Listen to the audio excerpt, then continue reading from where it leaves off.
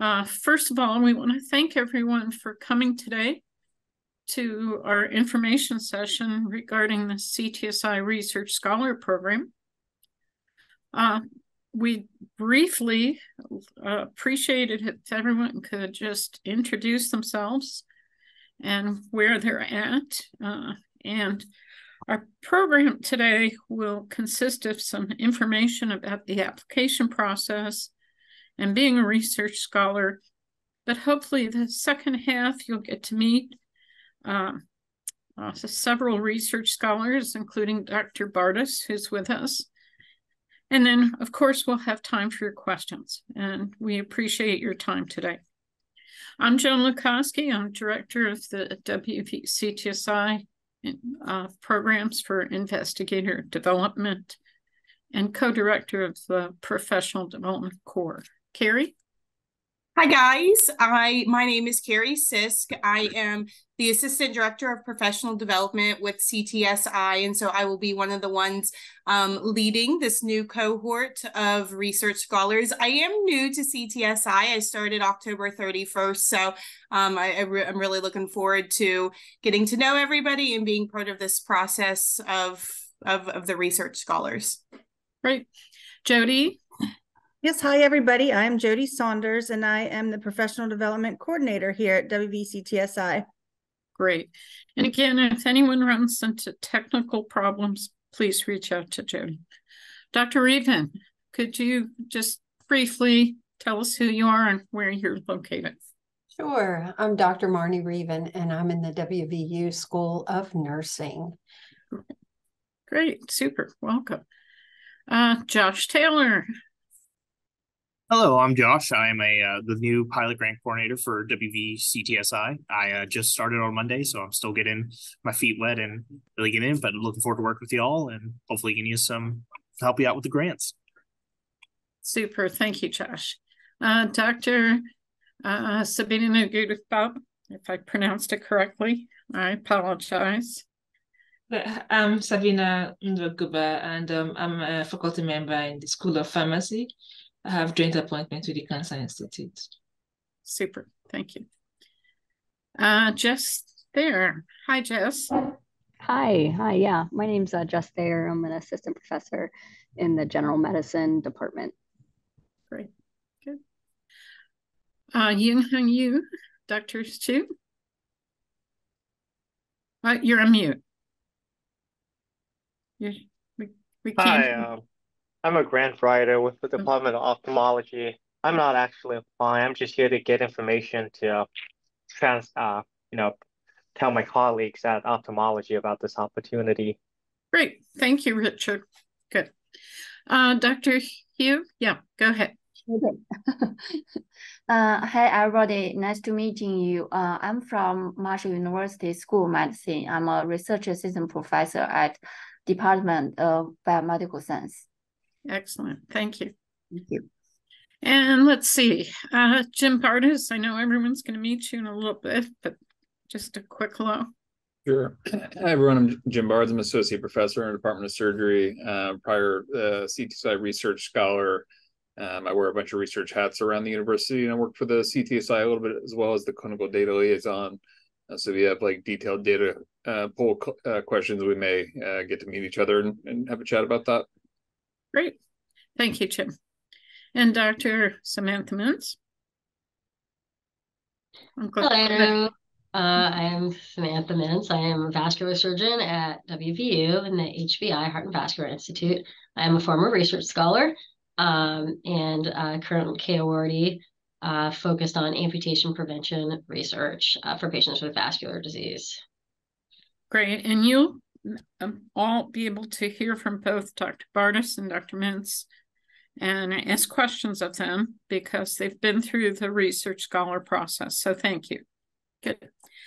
Um, what we'd like to do on the next slide is just give you a little background on the goal of the Research Scholars Program.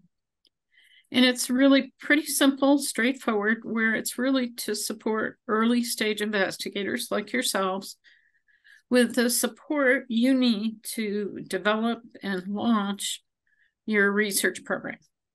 and your research program where you're able to be an independent investigator, ideally in a position to obtain some external funding for that independence. So the program itself will provide protected time for research, access to many resources offered by the CTSI, and include a real emphasis on mentorship. Next slide. Um, some of the types of activities that are included as a scholar are that our scholars are conducting some form of clinical and translational research as the principal investigator. That's really the, the core of the program. Uh, each of you would work closely with a team of mentors to achieve your research goals, but also continue to advance your academic career. Uh, we do have a requirement now for uh, during this time to develop and submit a uh, grant proposal for external support so that your research program can continue beyond the period of being a research scholar. And again, we have numerous tailored professional de development activities for our scholars to enhance uh, your professional and personal skills, both in research and leadership. And again, all of this is accomplished taking full advantage of the numerous resources of the WVCTSI, which are available across the state. Okay. So on the next slide, I just show you we have a really lovely history of past research scholars. The program began in 2012 and what we're very pleased with, and just as you can see in the lower left-hand corner, many of our most recent scholars uh, from our past cohort have actually been very successful in obtaining uh, NIH funding, whether a K award or a U01 or an R21. And again, all of these individuals you see listed have really um, developed and flourished in their respective fields with numerous publications. And, and though they may have moved on, several of them from the university, um, they're really accomplishing what we hope the program would do, which is uh, really make them successful as researchers and to go on to develop and be independent.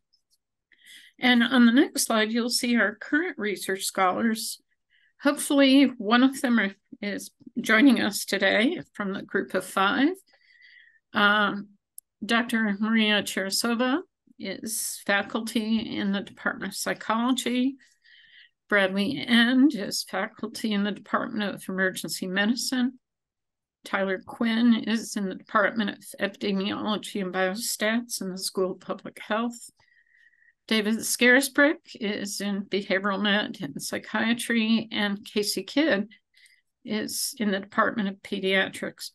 And Casey actually is our first graduate from this group because she received a K23 award this fall. And so she's well on her way to being a very well funded independent investigator. So I want to turn things over to uh, Carrie for her to take you through some of the eligibility criteria and the application process. Karen? Yeah, absolutely. Well, thank you, Joan. Um, again, I, I, would encourage all, all of you, our, our, purpose of showing you guys the list of previous research scholars is, you know, re reach out to them as well if you have have questions and to hopefully see a lot of successful names um, on on on that list. Um, so you know, our eligibility I think is pretty pretty straightforward and clear for every everyone. Um, we we are looking for those in any of our partner sites. So uh, you know, we we do have um, those of you who are attending from Marshall as well as WVU or any of our other, um, you know, the WVU Beckley um, site. So anybody in you know the the West Virginia area who is classified as an assistant professor um, as an early early stage investigator. Um, as, as you can see, we define an early stage investigator as somebody who has completed their res a research degree or postgraduate clinical training within the past past 10 years, but they have not um, served as a PI for any, you know, NIH independent research award because that is, as Joan had, had just reviewed, that is one of our goals is to to help um, help you understand that the grant writing process and the research pro process and to to get you to to be a graduate just like um, Dr. Kidd.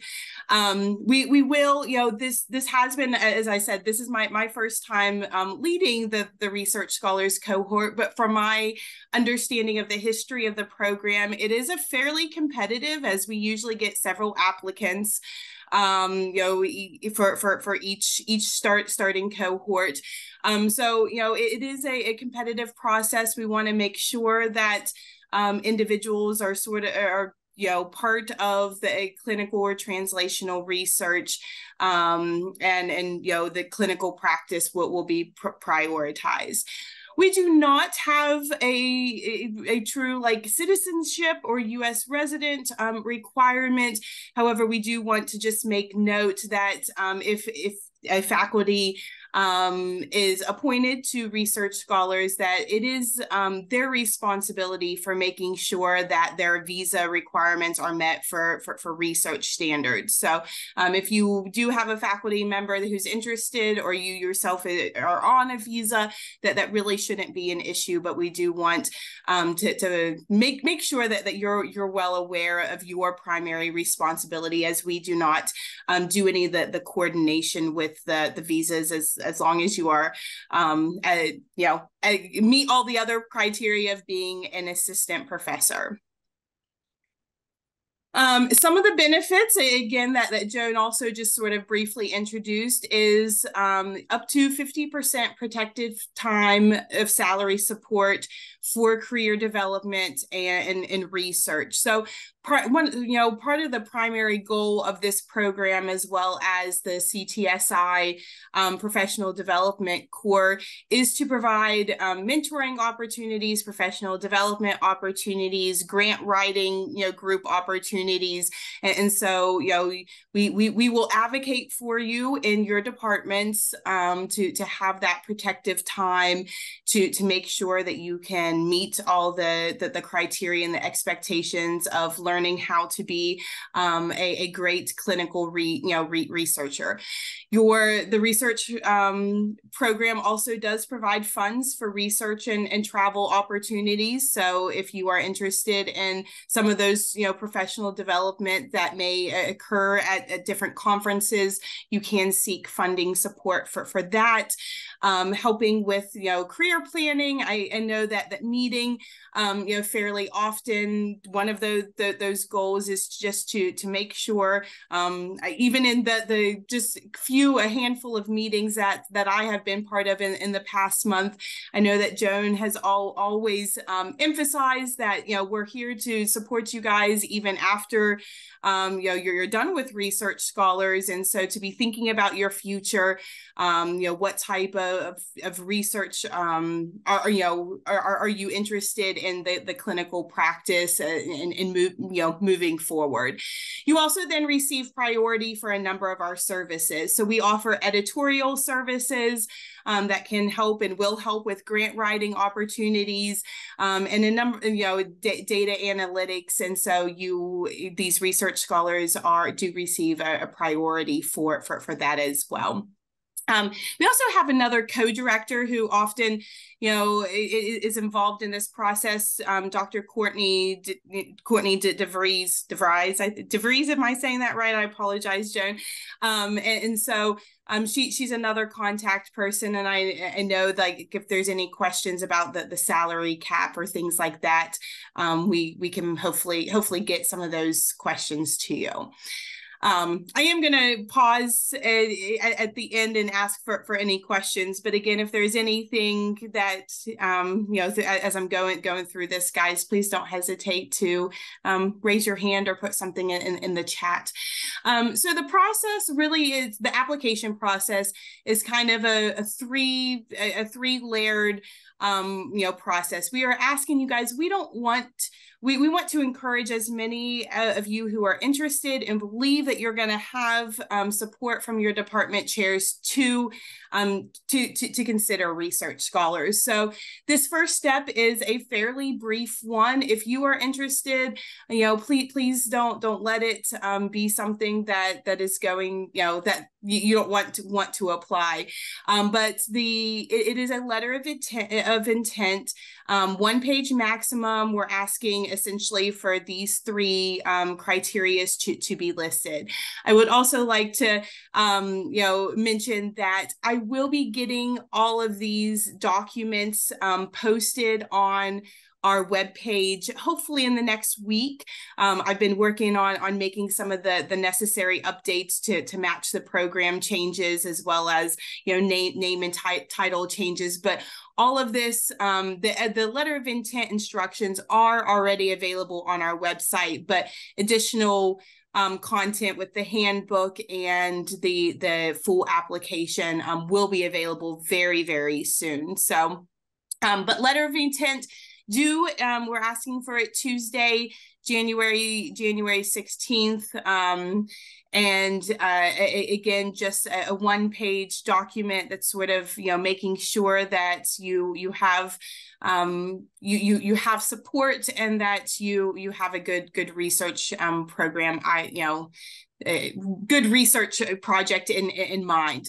Um, one of the the go ahead, Joan. Sorry. Yeah, I was going to say I want to emphasize that this is the point at which you need to be sure to have a discussion with your department chair because um, I think for basic scientists doing translational work, that's not too much of a challenge um, because with 50%, you can still get your teaching responsibilities covered.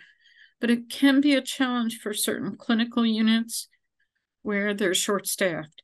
So, again, I'd approach this with a, a positive outlook when you reach out your chair, but also um, it's an opportunity to put forward that you'd like to have more protected time to develop your research interests. So thanks, Carrie. Yeah, absolutely. Thank you. Um, so again, an application process or for, for, for that letter of intent apologize. There we go.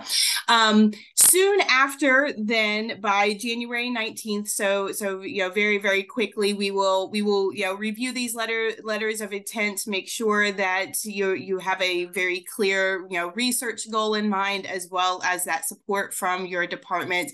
And then you will receive a, a letter um, inviting you to submit a full application. So this will be a, a very, very quick, you know, tur- turnaround and um, most of the time, I, I, believe most individuals are are asked and encouraged and invited to to submit the, this full application.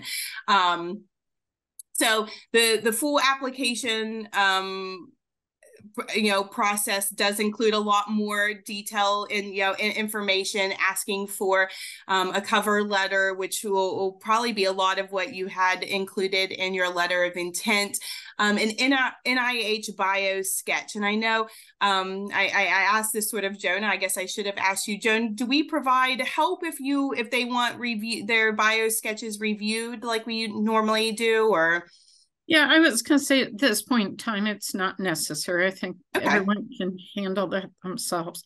But again, the notification that you'll receive is on Friday the 19th. That's right. not when the applications due. Correct. Thank you. Thank you. Yes. Yes. This is just you by this date, you will receive um, the, the, the, notification and the, the, the invite.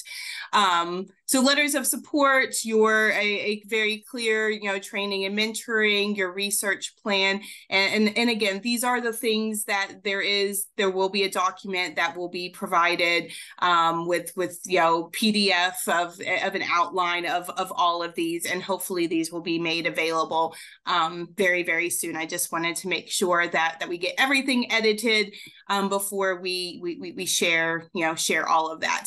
Um, and then another you know obviously big part of this is looking at a budget. Um, so you know you you yourself can budget for things in your research project that you know that you're going to um, potentially need to be successful and um, you know, you know that that that is um, provided as part of this this process. Um, some of the things that you will be expected, you know, I we we are going to advocate for you and, and make sure that you receive that um, you know 50% effort of, of protected time to to research. But then um, you know that time really should be also dedicated and contributed um, to you know to the research project and, and the plan and the other activities. Um, we have monthly meetings of what we call works in progress, um, often called WIPs, a, a WIP session, so works in, in progress. And this is an opportunity for us to, um, us as sort of a CTSI group, as well as your mentor group and um, the, the cohort of research scholars should all plan on attending these. Um, and we, we just want updates, right? We want to know how you're doing on your research, asking you um, things like what are what are some challenges. I know that once again, one of the first WIP sessions that I was able to attend, um, it was really it was a, a, wonderful presentation, but also a conversation of you know this is this is a, a barrier that I'm running into with my research and um, the other research scholars as well as those those mentors and those of us in the room were were able to to offer some some I, I believe some helpful advice um, you know, in, in order to to help overcome some of those those barriers and challenges that the the researcher was what you know what what was having.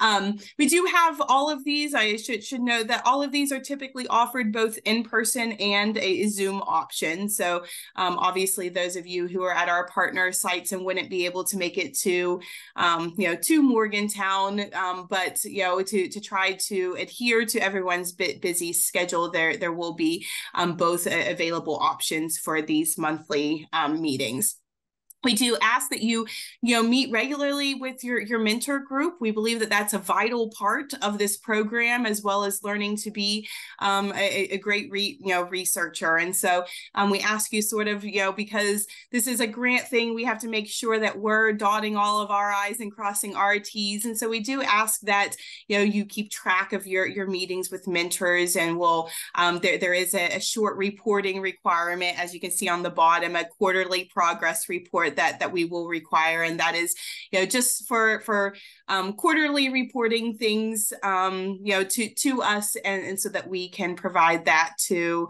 um, our, our external, you know, grant grant um, individuals as well as our, our, our tracking team. Um, we want to help you all you know publish. And so you know publication of these research findings. Um, we, we will you know make sure to to provide any support. And we do ask that you um, cite the ctsi grant when you do have any publications. Um, but we want to celebrate those accomplishments and hopefully throughout the the time of, of, of being a research you know scholar we are able to um, help you you know with, with several several different um, you know pub publications even if you're not a first author. Um, but to, you know to to get the, those publications and to help help build your guys' cvs and um, your, your the, those research opportunities. We do offer grant writing groups. Those are, are led by by our very own um, Dr. Lakoski, and um, I, I know that those are uh, generally I, I, we haven't settled on times or anything, but generally like like Tuesdays and Thursdays um, for, for a couple hours and um, she will thoroughly help you re review um, your, your grant writing opportunities and again hopefully submit a and, and get a, um, a, a successful one like many of our other um, graduates and our very own you know Casey Kidd in this you know last um, last cohort has, has all, all already are already received. Oops, sorry, I didn't mean to press that just yet. Um, a number of other just networking um, meetings. You know, there's there will be a lot of opportunities to meet with our um, RPI, Dr. Sally Hodder, you know, as well as, as a number of, of our other um, re researchers within the, the CTSI and the, the you know the, the other other areas that, that that we work with. And so you'll um, you know do will be invited to to many different different re research scholars you know meetings and opportunities, even if they're just um, networking opportunities. Um, the CTSI annual meeting, and, and, I believe we have tentative dates that are towards the end of September, but um, participation in that annual meeting will also be um, part, you know, part part of the the responsibility there. Um, lastly, again, uh, you know, any any type of PR requests as well as those quarterly progress reports. You know, some of just your your your, your typical standard, I, believe, expectations of um, re receiving you know funding from, from from a grant and sort of your your commitment to to us as um, as a research scholar and your contribution to the CTSI. Um, so here is, like I said, a, a very um, or the application process for the, the, the next year um, is sort of sort of a, a threefold. That letter of, of intent to do um, January 16th. You will receive a very fast turnaround of a notification of, you know, please proceed. We would love to see your full application. You know, you ha- had met all the criteria of that very simple letter of intent um, process. Full applications are due March 1st. So, you know, you really do. And if you get, get started and, and you're interested in it, um, we're, we're, you know, hoping that um, you know, that the March 1st due date is something that is very easily obtainable. Um, we will have, you know, study sections and peer reviewers who will ultimately be, excuse me, be looking at all these applicants um, and uh, uh, awards will be announced on April or April 1st. Um, and your appointment as a research scholar, if chosen, will be July 1st. Great. Well, Carrie, thank you for all that background information. And again, we'll have time for questions. Mm -hmm. So if you do have questions about the application process, uh, we're happy to address them. Um, we've invited uh, two of the past scholars and one of our current scholars uh, to join us today. Uh, it's my pleasure to introduce Samantha Minc, who is also the recipient of a K23 award, which she received uh, from her work as a research scholar. And she's gone on to bigger and better things and constantly is presenting across the nation her research. Um, Dr. Bardes will be introducing himself, and uh, Jim has also uh, seems to have a professional development bent because, in addition to his own research, he's also mentoring quite a few of the surgical residents and fellows. And then David Scarisbrick, who's setting up his computer, will be joining us in a few secs. David is a current research scholar so what I'd like to do is let you hear from each of the scholars, and then we'll open this up for questions.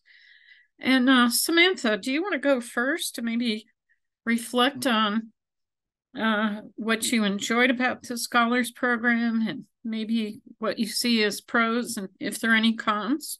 That'd be great. Sure. Um, you know, I think that the Scholars Program was incredibly important for my development as a researcher. I my personal regret is that I didn't get it the first time that I applied. um, I really wish I had gotten it earlier because uh, it was just such a great. Uh, it was a great program, um, and especially those check-in sessions. And uh, one of the biggest things is it, it does give you uh, access to important resources in the CTSI um, as a research scholar, and you also have the opportunity to try out things that the CTSI is contemplating. So it's just a really great way to get engaged in research. Um, it's also extremely important for your extramural funding because it seems like it's almost a requirement that you show that your institution has already identified you as someone worth training. Um, I think that's something that you can see like for a K award progression where you maybe start with a seed grant or a pilot grant, move on to a training like a research scholar, and then the next move is like K award. That makes a lot of sense logistically. So I think those are uh, my some of my biggest take homes. Um, I think for me, I I got my K pretty early into the scholars program, um, but I did get to stay um, with my group, so I still got to get all of the benefits from being a part of it. So that was really great. And Samantha, you're now appointed as an associate professor, correct? Correct. So congratulations. So, Thank you. Uh, Jim, uh, you were in the same cohort with Samantha, but your research interests are focused in a different direction. So I'd appreciate hearing your your thoughts on the research scholar program too. Sure. Thanks, thanks, Joan. Um, so, Of course. you know, my interests um, are a lot of um, a lot of interest in using AI and machine learning approaches um, to solve some clinical questions in rural trauma care, trying to overcome some disparities that we see. Um, the scholars program was great from a standpoint of um, you know getting to one meet and collaborate and sort of bounce ideas back and forth off a group of uh, peer scientists that are in that same point in their career. Everyone's trying to you know make the next leap, uh, you know, um, uh, solve some of the same problems together as you're starting to build your research programs. Um, I certainly enjoyed um, some of the inner access to the CTSI, getting to know the bioinformatics group very, very uh, closely, working working closely with them. Um, that's led to my eventual appointment with them, uh, you know, in a part time uh, position there. Um, you know, having the uh, the grant writing group, I, I really found fantastic. Uh, one and just the accountability of making me write uh, every couple of weeks and push that forward.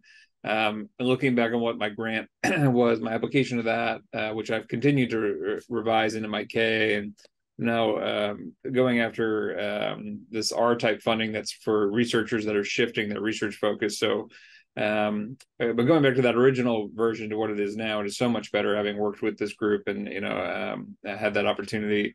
Um, I think Wes Kimball from the bioinformatics group has has looked through whole sections of my grant to help with some of the the language there. Um, I was able to find some res- uh, some resources and mentors through the CTSI as well that I don't think would have been as easy to find.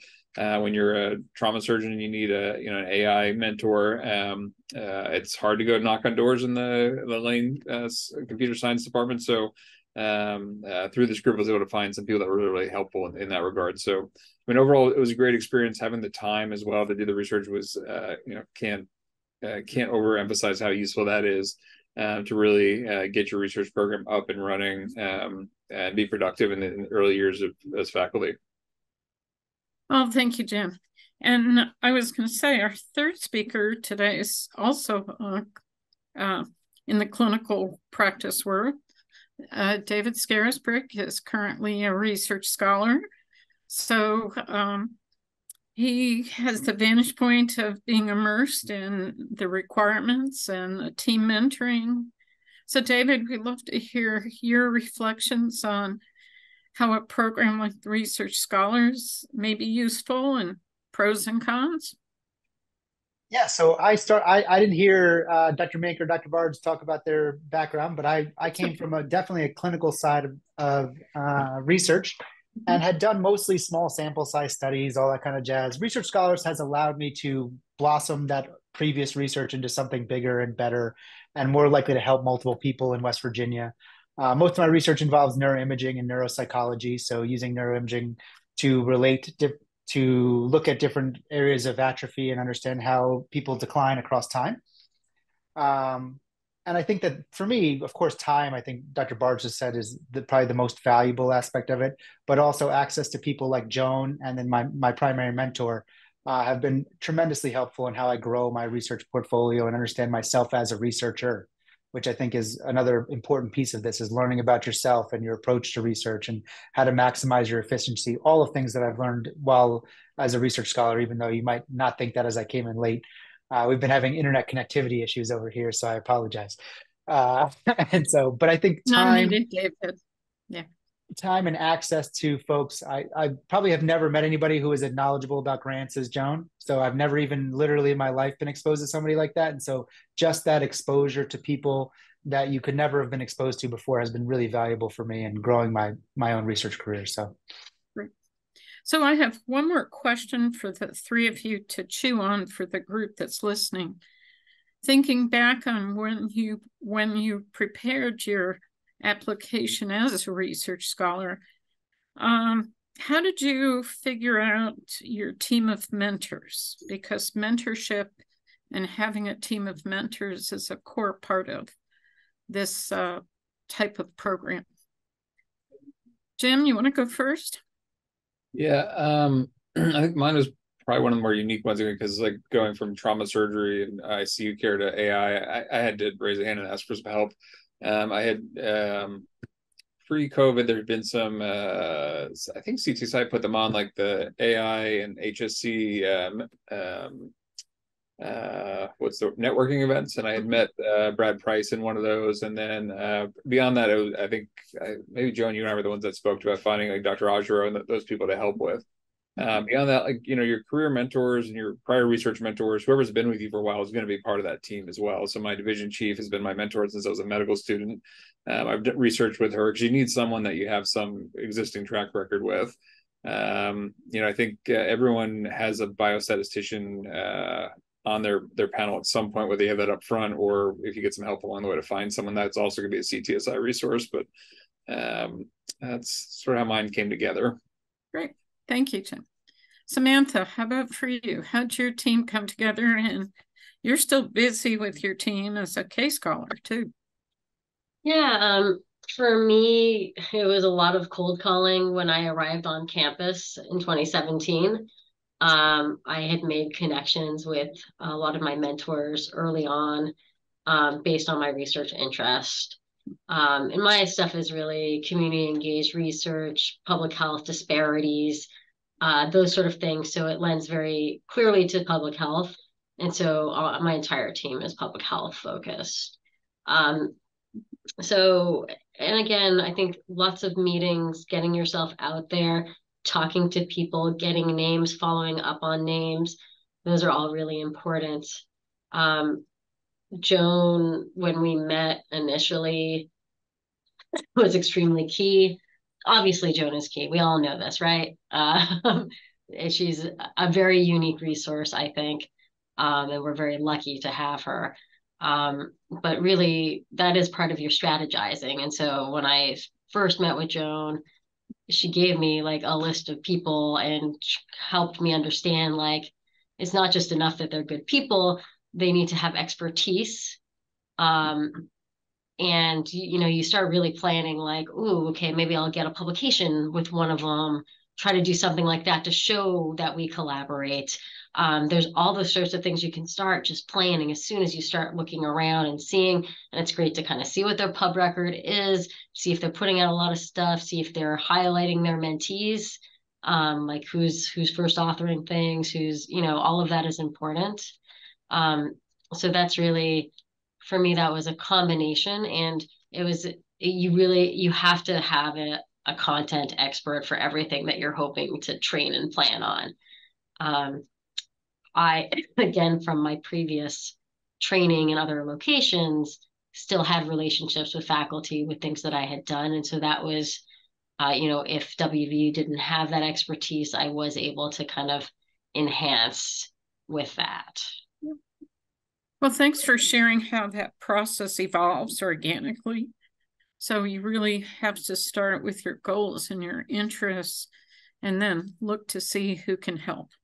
So David, what, what was your process in finding your mentorship team? And I'm sure things are still evolving. Correct. And so similar to Dr. Minc, I went to Joan early on and I said, how do I make a team of mentors? And she gave me some original advice about picking experts and everything that Dr. Minc just reviewed with you all. So I'm not going to go through that entire process, but uh, luckily we had some imaging experts in the department, and so I reached out to the person I was most familiar with, and they became my primary mentor. But really, they were more focused on their type of research and how their research could approach my research. So I had to find other mentors who were interested in what I was actually doing, which is movement disorder research and not just neuroimaging research. And so over that time, I was able to accumulate people, uh, Dr. Rezai and Dr. Tripathi, folks who could come on and be world-renowned experts in movement disorders. And then another limitation of my own knowledge, and I think that's what I was using my mentors to fill in, was really grantsmanship. And so uh, James Mahoney got added to my team as a result of me having quite literally never filled out a grant before research scholars and so uh, feeling very fortunate to have been accepted of course but simultaneously then i'm growing my team over time and reaching out to other experts in neuroimaging uh, harvard and penn and other places like that trying to find folks who will also help mentor the next phase of my process which is how do i expand this out to something uh, even better to help the people of west virginia. And so i think mentorship is filling in those holes within your own knowledge also and knowing that you can't know everything and you have to have experts around. Oh great wisdom david as always again uh, none of us come into this process of being a research scholar kind of having everything lined up it's kind of a process that as you develop your letter of intent you want to be thinking who or what kinds of individuals would make a strong mentoring team for you that also would be viewed as very positive by the reviewers of your application. And I'll disclose you're free to come to chat with me or Carrie Sisk and and Courtney DeVries. We're here to help you with your applications. I do not, I'll disclose, I do not sit on and review the applications. I'll read them for sure, but I'm not part of the the scoring process because that would be a conflict of interest if I was helping you in making the judgment on who's going to be selected. Um, hey, Joan, will you let me add something to that? Yeah, please, David. Um, as like an anecdote, is that Joan mm-hmm. was so amazing in that first meeting that I begged Joan to be on. and she's like, "Oh, I can't. You'll. I'll be part of your research." But I was literally begging her to be part of it because it's such a valuable resource to your future. And so, I'm sorry for interrupting. That's okay. That's you. You're all of you are too nice. But what I was going to say, this is a time for you as you're preparing your letter of intent and thinking ahead to your application. Think a little selfishly. What do I need from other individuals. I think all of you are, as professionals in, in your training, whether it's basic science or a clinical field, you're all used to kind of supporting other individuals to have them be successful. The Research Scholars Program is, is really designed to turn that around so you are the person who's getting a lot of support. Uh, we have had a, a, a, research scholar from Marshall University before, so we're delighted to see uh, uh, our colleague here from Marshall today. And again, this program is also flexible in the sense that we work hard to try to customize the elements to meet your needs. So, for example, some of you may need support for implementing a clinical trial. And that's a whole set of skills that um, the CTSI is very strong in. Others of you may need support on the writing side. We can help there. But most of all, the goal of this program is ultimately to help each of you contribute to the research infrastructure in West Virginia and the nation. And and this is such a great opportunity for you to have some breathing space. Now it does mean you have to you know start those steps of negotiating with your chair or supervisor to make sure that they understand you have a goal and your attention to your normal responsibilities will still be there but there might be some reduction in effort but it's worthwhile.